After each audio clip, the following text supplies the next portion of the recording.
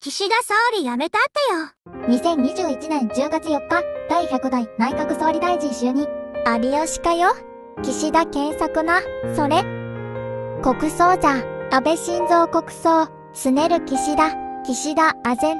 岸田と神さん。統一教会関係者と岸田、刺身なんか、食ってんじゃねえよ。増税超人、バカ息子と岸田。皇帝で、バカ息子と、親族と異次元の忘年会。バカ息子とアイスと、神さんと岸田、岸田サミット。ジジイ大統領と岸田。イーストで岸田とジジイ、岸朝子な、それ。